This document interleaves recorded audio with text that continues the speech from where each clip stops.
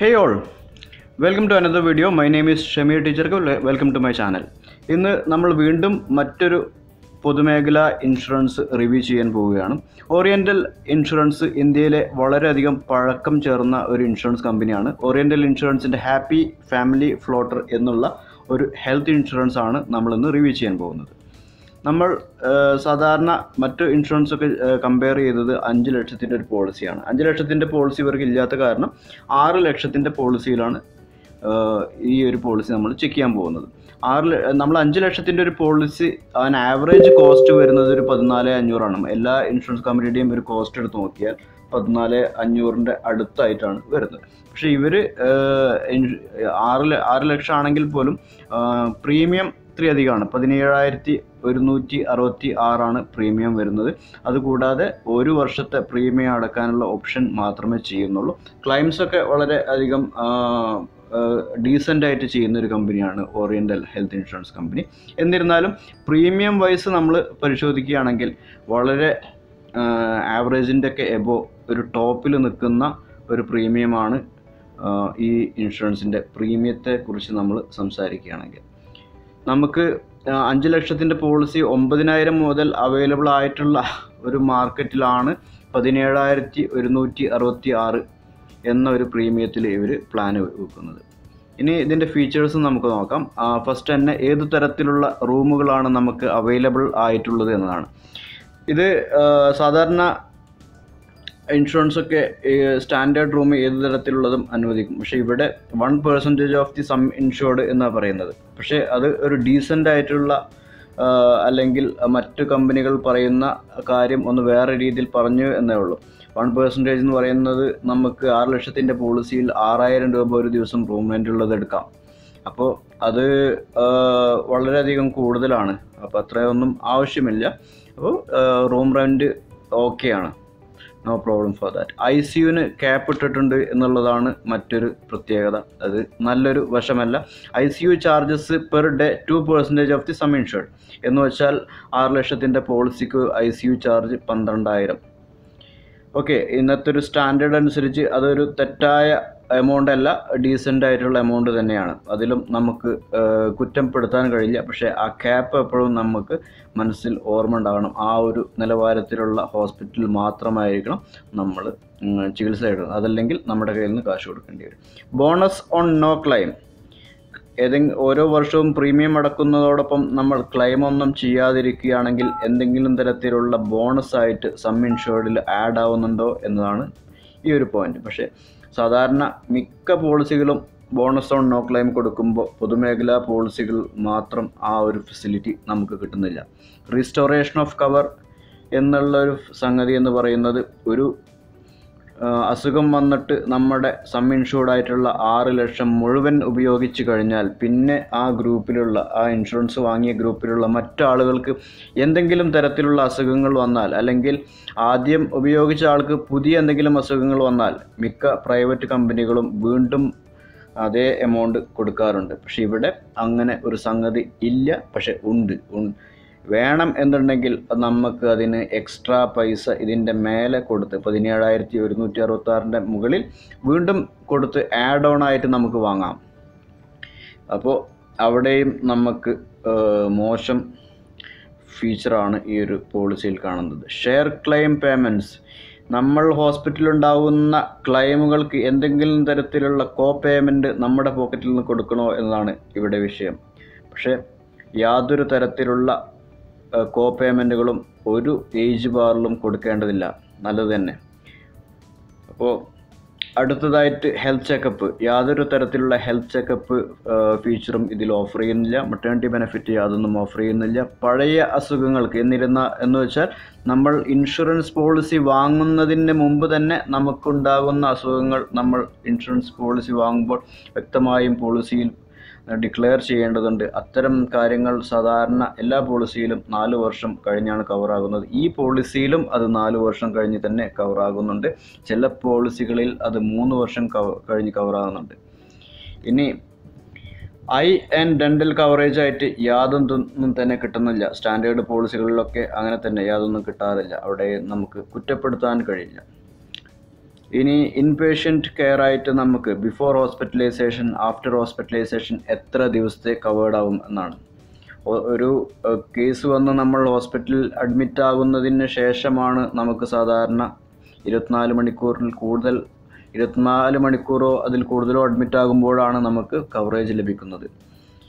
അത്തരം സാഹചര്യങ്ങളിൽ ആ ഒരു അസുഖവുമായി ബന്ധപ്പെട്ട് നമ്മൾ നടത്തിയിരുന്ന സ്കാനിങ്ങുകളുടെയും ടെസ്റ്റുകളുടെയും മരുന്നുകൾ കഴിച്ചതിന്റെയും ബില്ലുണ്ടെങ്കിൽ മുപ്പത് ദിവസം മുന്നേ വരെ ഹോസ്പിറ്റലിൽ അഡ്മിറ്റ് ആകുന്നതിന് മുപ്പത് ദിവസം മുന്നേ വരെയുള്ള കാര്യങ്ങളെല്ലാം ക്ലെയിം ചെയ്യും. അതുപോലെ തന്നെ ഹോസ്പിറ്റൽ അഡ്മിറ്റ് ഡിസ്ചാർജ് ചെയ്തതിന് ശേഷം വരുന്ന ചിലവുകൾ അറുപത് ദിവസം വരെയും നമുക്ക് കവറേജ് ആയി കിട്ടുന്നുണ്ട്. പക്ഷെ അതിനും അവർ ഒരു ക്യാപ്പ് പെടുന്ന ക്യാപ്പ് ഇടുന്നുണ്ട്. Seven percentage of the hospitalisation charge maximum five thousand K.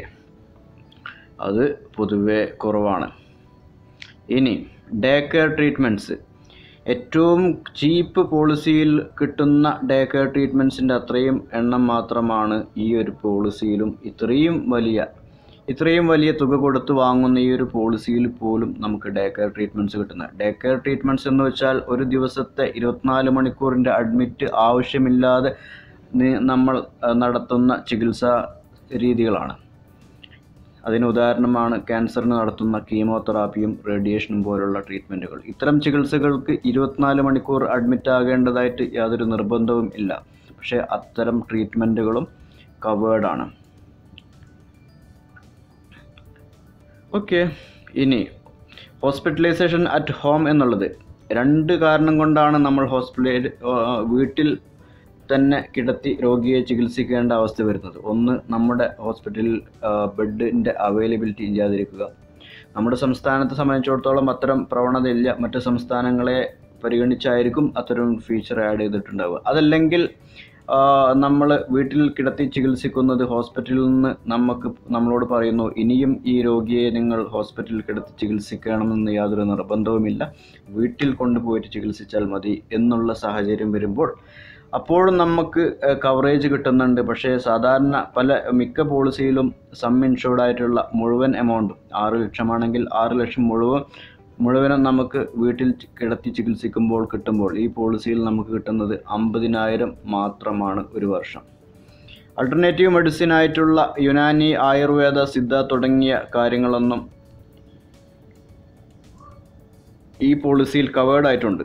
അത് നന്നായി എന്തായാലും coverage up to sum insured എന്നാണ് പറയുന്നത്. ആറ് ലക്ഷത്തിന്റെ എമൗണ്ടും നമുക്ക് അൾട്ടർനേറ്റീവ് മെഡിസിൻ ഉപയോഗിക്കാം എന്നുള്ളത് ഒരു പൊതുമേഖലാ പോളിസിയിൽ നമുക്ക് കിട്ടുന്ന വലിയ ഒരു കാര്യം തന്നെയാണ്. പല സ്റ്റാൻഡേർഡ് പോളിസികളിലും അതിന് ലിമിറ്റ് ഉണ്ട്. ചില പോളിസികൾ ഫുൾ സം ഇൻഷുർഡ് ഉപയോഗിക്കാം. എന്തായാലും ഓറിയന്റലിന്റെ പോളിസിയിൽ നമുക്ക് മുഴുവൻ സം ഇൻഷുർഡും അൾട്ടർനേറ്റീവ് മെഡിസിൻ ഉപയോഗിക്കാം എന്നുള്ളത് വളരെ നല്ലൊരു കാര്യമാണ്. നെറ്റ്വർക്ക് ഹോസ്പിറ്റൽ ഉള്ളത് രണ്ടായിരത്തി മുന്നൂറ് മാത്രമാണ്. നമുക്കറിയാം നെറ്റ്വർക്ക് ഹോസ്പിറ്റൽ ആണെങ്കിൽ നമ്മൾ ഒരു ട്രീറ്റ്മെന്റുമായി ബന്ധപ്പെട്ട് ചികിത്സ നടത്തുകയാണെങ്കിൽ നമ്മുടെ ക്ലെയിം സംബന്ധമായ മുഴുവൻ കാര്യങ്ങളും ഹാൻഡിൽ ചെയ്യുന്നത് ഹോസ്പിറ്റലാണ്. യാതൊരു തരത്തിലും നമ്മുടെ ഒരു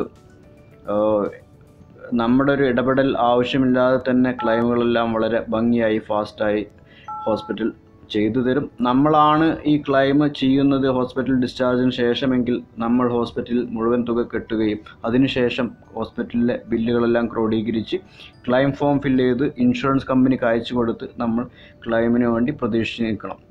അവിടെ പലപ്പോഴും നമ്മളുടെ പരിചയക്കുറവ് മൂലം അരി അറിവില്ലായ്മ മൂലം പലപ്പോഴും ക്ലെയിമുകൾ റിജക്റ്റ് ചെയ്യാനുള്ള സാധ്യത വളരെ കൂടുതലാണ്. ഒരുപാട് ഡോക്യുമെന്റ് മിസ്സിങ് അല്ലെങ്കിൽ ഫോം ഫില്ല് ചെയ്തതിന്റെ ഒരുപാട് തെറ്റുകൾ കാരണം ക്ലെയിമുകൾ ഡിലേ വരാനും റിജക്റ്റ് ആവാനുമുള്ള സാധ്യതകളുണ്ട്. അപ്പോൾ ഹോസ്പിറ്റൽ നെറ്റ്വർക്ക് കൂടുതലുള്ള കമ്പനികൾ സാധാരണക്കാർക്ക് വളരെ നല്ലൊരു കാര്യമാണ്. പക്ഷേ പൊതുമേഖലാ കമ്പനികളിൽ പൊതുവെ ഹോസ്പിറ്റൽ നെറ്റ്വർക്ക് വളരെ കുറവാണ്. ഇനി ഈ ഒരു പോളിസി നമുക്ക് എടുക്കാൻ പറ്റുന്നത് മാക്സിമം നാല് കുട്ടികളുള്ള ഒരു കുടുംബത്തിനാണ്. നാലിൽ കൂടുതൽ കുട്ടികളുണ്ടെങ്കിൽ പോളിസി എടുക്കാൻ കഴിയുന്നതല്ല. ആംബുലൻസ് ചാർജായിട്ട് ഓരോ വർഷവും നമുക്ക് ആറായിരം രൂപ മാക്സിമം എന്ന രീതിയിൽ ഓരോ ഹോസ്പിറ്റലൈസേഷനും രണ്ടായിരം രൂപ വീതം നമുക്കിതിൽ ക്ലെയിം ചെയ്തെടുക്കാൻ കഴിയും. വേൾഡ് വൈഡ് എമർജൻസി നമ്മൾ ലോകത്തിന്റെ എവിടെയെങ്കിലും ഒരു എമർജൻസി ആയിട്ട് നമുക്കൊരു നമ്മളെ തിരിച്ചു നാട്ടിലേക്ക് കൊണ്ടുവരാനുള്ള ഒരു സർവീസ് ഇതിൽ അവൈലബിൾ അല്ല.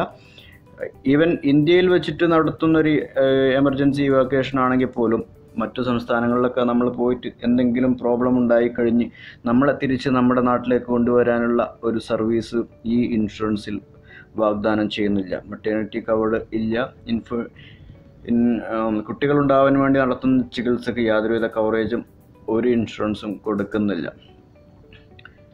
ഇനി ഒരു ഇൻഷുറൻസ് എന്ന് വെച്ചാൽ നോർമലി ഈ ഒരു നിലവാരത്തിലുള്ള ഒരു ഇൻഷുറൻസും അത്തരം ട്രീറ്റ്മെന്റുകൾക്ക് കൊടുക്കുന്നില്ല. ഓൺ കോൾ ഡോക്ടർ സർവീസ് എന്തെങ്കിലും വിഷയത്തിൽ നമുക്ക് ഒരു സെക്കൻഡ് ഒപ്പീനിയൻ എടുക്കുന്നതിന് വേണ്ടി ഓൺ കോൾ സർവീസ് ഇൻഷുറൻസ് കമ്പനിയുടെ ഡോക്ടറുമായി ബന്ധപ്പെടാനുള്ള സാഹ സാഹചര്യം ഈ പോളിസിയിൽ ഇല്ല.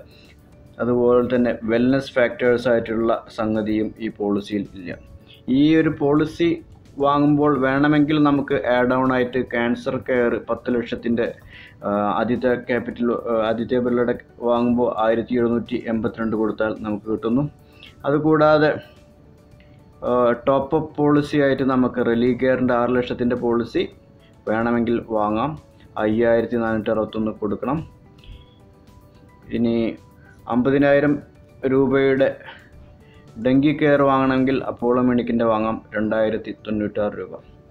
അപ്പോൾ നമ്മൾ ഈ പോളിസിയുടെ ഒരു ജനറൽ ആയിട്ടുള്ള ഐഡിയ നമ്മൾ മനസ്സിലാക്കി. ഒന്ന് പ്രീമിയം വളരെ കൂടുതലാണ്. അതിനനുസരിച്ചുള്ള ഒരു ഫെസിലിറ്റി മറ്റ് പ്രൈവറ്റ് കമ്പനികൾ വാഗ്ദാനം ചെയ്യുന്നത് പോലെ യാതൊന്നും ഇവർക്ക് വാഗ്ദാനം ചെയ്യാൻ കഴിഞ്ഞിട്ടില്ല. എന്നിരുന്നാൽ തന്നെയും ഒരുപാട് ആളുകളുടെ വിശ്വാസം പിടിച്ചു പറ്റിയ കമ്പനിയാണ് ഓറിയന്റൽ ഇൻഷുറൻസ് ആ ഒരു രീതിയിൽ ചിന്തിക്കുന്നവർക്ക് തീർച്ചയായിട്ടും ഓറിയന്റൽ ഇൻഷുറൻസ് തന്നെ തീർച്ചയായിട്ടും വാങ്ങാം. ഇത്രയൊക്കെയാണ് ഇതിന്റെ ഡീറ്റെയിൽസ് ഉള്ളത്. എല്ലാവർക്കും മനസ്സിലായി എന്ന് കരുതുന്നു. ആർക്കെങ്കിലും എന്തെങ്കിലും തരത്തിലുള്ള ഡൗട്ടുകൾ ഉണ്ടെങ്കിൽ കമന്റ് ബോക്സിലോ വാട്സപ്പ് നമ്പറിലോ ബന്ധപ്പെട്ട് ചോദിക്കാവുന്നതാണ്. നിങ്ങൾക്ക് വീഡിയോ ഇഷ്ടമായാൽ ദയവ് ചെയ്ത് ലൈക്ക് ചെയ്യുക സബ്സ്ക്രൈബ് ചെയ്യുക. ഒപ്പം ബെൽ ബട്ടൺ എനാബിൾ ചെയ്താൽ ഇനിയും ഒരുപാട് ഇൻഷുറൻസ് സംബന്ധമായ ഫൈനാൻഷ്യൽ സംബന്ധമായ അത് അതോടൊപ്പം തന്നെ ട്രാവൽ റിലേറ്റഡ് ആയിട്ടുള്ള ടെക്നോളജി റിലേറ്റഡ് ആയിട്ടുള്ള വീഡിയോകളൊക്കെ ഞാൻ ചെയ്യുന്നുണ്ട്. അതൊക്കെ നിങ്ങൾക്ക് നോട്ടിഫിക്കേഷനായിട്ട് ലഭിച്ചുകൊണ്ടിരിക്കും. okay that's it for today. Thank you for watching. My name is shamir teacher signing off for today. Thank you.